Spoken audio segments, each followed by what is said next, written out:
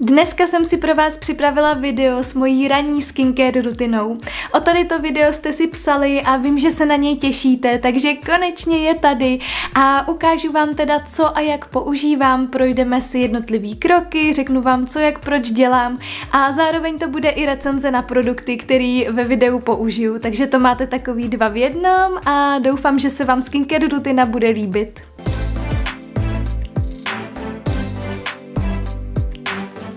Pokud vás moje videa baví a skincare vás zajímá a chtěli byste toho ještě víc, tak určitě budu moc ráda, když dáte odběr kanálu, like videu a klidně i třeba napíšete někde nějaký eh, komentář nebo tak, já si to samozřejmě čtu a vždycky mě potěší, když mi někdo napíše, že se mu videa líbí, že mě sleduje a podobně, takže budu za to moc ráda a jsem strašně šťastná, jakou krásnou skincare komunitu tady fakt máme.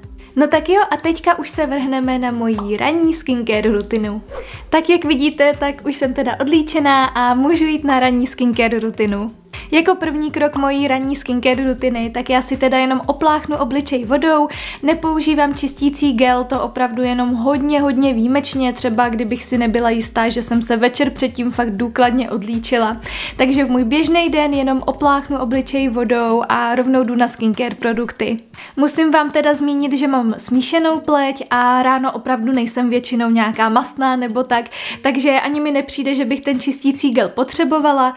Výjimka by asi byla ještě ve chvíli, kdybych třeba večer použila hodně nějaký výživný, hutný produkty nebo třeba eh, výživnou masku na spaní, kterou bych ráno tak ještě cítila, že na tom obličeji trochu je. Tak to bych asi čistící gel použila, ale v mý běžný dny tak eh, ho nepoužívám ráno.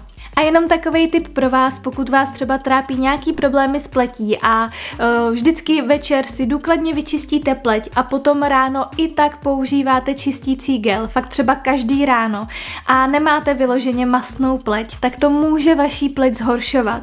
Takže fakt zkuste, když tak třeba týden, 14 dní, jenom ráno opláchnout obličej vodou a uvidíte, jestli to pomůže, protože už jsem zažila případy, kdy fakt tady to ve finále byla ta věc, co tu pleť zhoršovala.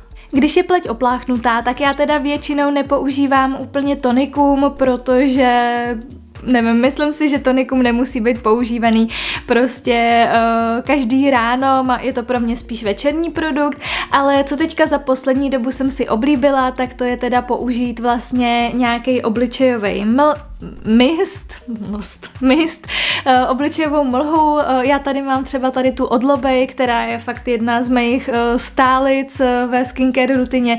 Používám ji hrozně ráda. Takže tím vlastně jenom tak přespreju obličej, aby se ještě tak jako probral. Je tam trochu ta hydratace, nějaká tonizace a zároveň hezky můžu jít rovnou na další produkt, nějak mě to nezdržuje, když spěchám. Nečekám, až ta mlha zaschne, ale naopak, dokud je pleť hezky vlhká, tak aplikuju rovnou další produkt a to je sérum.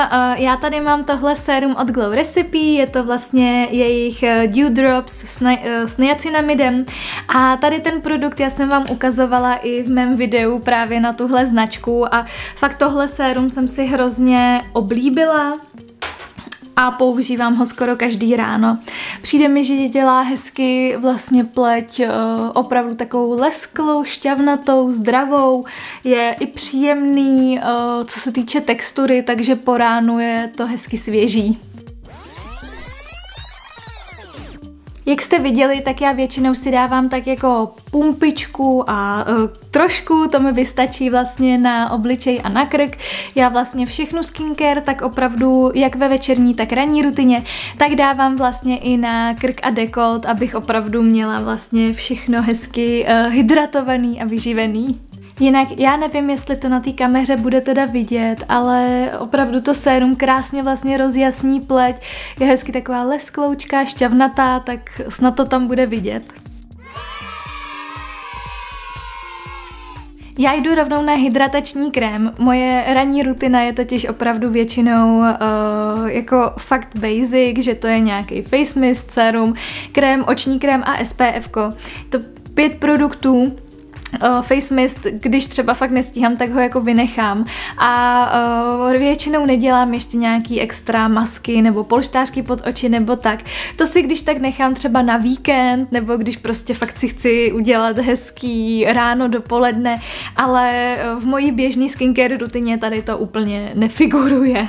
Tak doufám, že nebudete zklamaný, protože vždycky, když vidím videa na ranní skincare rutinu, tak prostě to má třeba 10 kroků a já to takhle vůbec nemám. Já chci, aby moje ranní rutina byla jako rychlá a efektivní a moc mě to nezdržovalo, abych mohla jít prostě na něco dalšího. Pak třeba o víkendu tak si ráda dopřeju ještě něco extra, ale když vám chci ukázat svoji běžnou ranní skincare rutinu, tak rozhodně takhle to vypadá fakt vždycky, akorát se ty produkty prostě obměňujou. Teď tady teda máme hydratační krém, já tady mám tenhle od Clinique, jejich Moisturizing Lotion a tohle je určený přímo pro smíšenou pleť. Dávám ho zhruba tak pumpičku a půl. A uh, řeknu vám, že s tímhle krémem já mám trošku takový love-hate prostě vztah protože on uh, má takovou jako hutnější texturu, není to úplně lotion lotion. On jako na jednu stranu tak je lehkej, ale vlastně na když si ho vyzkoušíte třeba na ruku. Ale potom na pleti tak uh, mi tak lehkej nepřijde. Jako to už mi přijde, že na pleti pocitově je víc jako opravdu krém, že ho tam cítím. Nakonec přidávám ještě pumpičku, eh, abych si to mohla dát i na krk. A uh, on ten krém tak opravdu na ruce, když si ho vyzkoušíte, tak je lehoučký jako lotion. Když si ho ale dám na pleť, tak ho tam jako cítím, že to je prostě spíš takový, jak kdyby to byl trochu výživnější vlastně uh, hydratační krém. A zároveň pro mě ale třeba není dostatečně hydratační jako na noc. Takže uh, jako říkám, používám ho ráda a já jsem si ho hlavně oblíbila v ranní rutině, protože mi přijde, že vypadá moc hezky jako základ pod make-up ale zároveň já ho musím mít fakt v té raní, protože mě večer nestačí.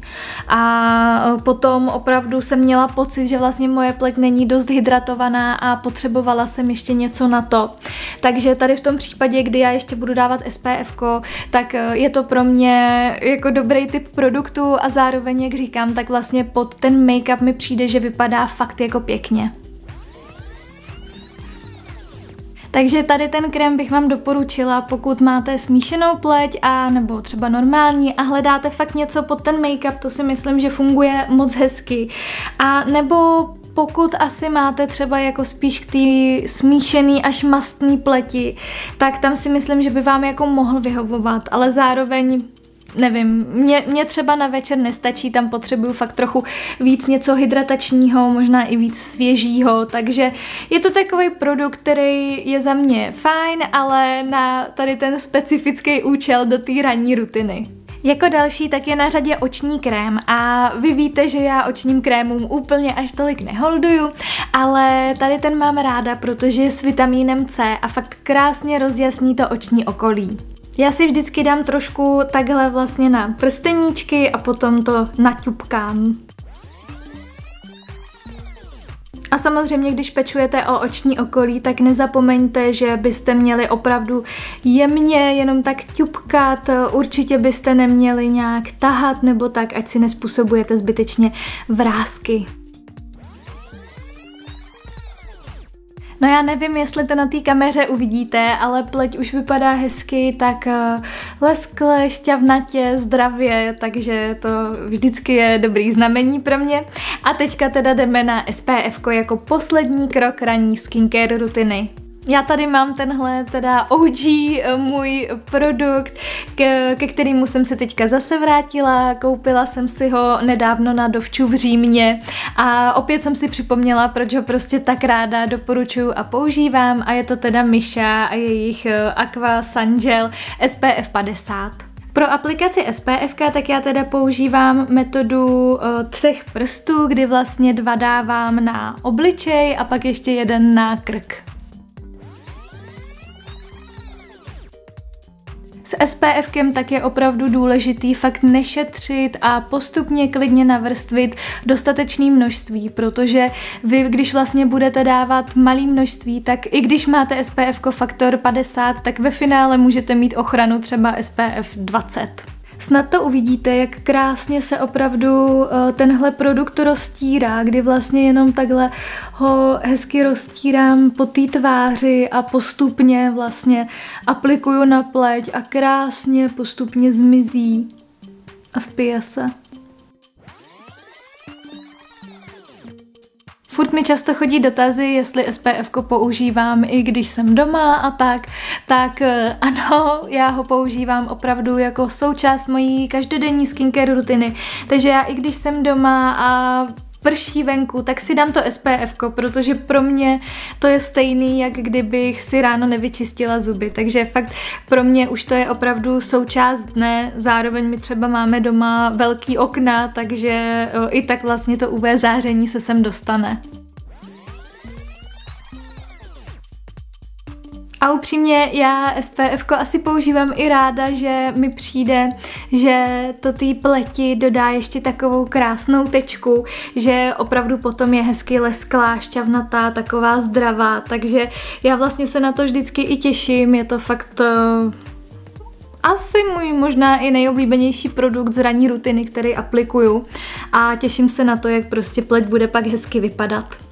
Ale přiznejme si to, to si myslím, že je hodně taková specifická věc pro nás uh, skincare nadšence, že se těšíme, až si ráno dáme SPF. Teďka ještě poslední eh, prst takhle na krk. A uh, asi jste si všimli, že vlastně fakt mezi žádnýma produktama já jsem nedělala úplně nějakou vlastně pauzu. Uh, není to úplně potřeba, pokud vaše produkty si sedí mezi sebou a nezačnou vám třeba žmolkovat nebo tak, tak vlastně v tom případě fakt není potřeba úplně čekat. Teďka po aplikaci SPF, tak já jako chvilku většinou počkám třeba pět minut plus minus, eh, než potom půjdu když tak na make-up, aby vlastně SPF opravdu si sedlo na pleti, aby se to vpilo a až potom pokračuju eh, dál. Takže to je jediný, kdy vlastně dávám trošičku eh, rozestup, protože zase chci, aby se to fakt všechno vpilo a aby potom i ten make-up se dobře aplikoval. Hlavně v létě, tak potom uh, hlavně ve chvíli teda, kdy mám nějaký culík nebo tak, tak nezapomínám uh, aplikovat SPF i takhle na uši, uh, protože nechci mít že spálený uši a zároveň teda potom samozřejmě, když mám odhalený části těla, jako je dekolt, ruce a podobně, tak uh, součástí mojí vlastně tady té ranní rutiny, tak je teda i aplikace SPF na tělo. Takže na to určitě nezapomínejte, že je důležitý dát ho taky na obličej, ale samozřejmě i na tělo, protože třeba hrudník, tak ve chvíli, kdy máte trochu výstřih, tak opravdu je taky první vlastně na ráně od sluníčka. Tak tohle už je celá ranní rutina, pak už jenom přijde na řadu nějaký balzám na rty. Já tady mám zrovna tenhle od Charlotte Tilbury, který je úplně skvělý.